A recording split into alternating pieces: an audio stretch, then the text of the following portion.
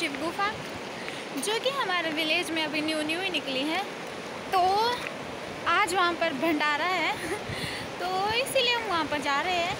तो हम आपको दिखाते हैं वहाँ का प्लेस जहाँ वो निकली है। तो चलिए चलते हैं। तो अभी हमें बहुत दूर जाना है। यहाँ से हमें ऊपर जाना है। तो चलिए बने रहिए हमारे साथ। चलते हैं हम शिव गुफा। तो मेरे साथ जा रहा है मेरा भाई।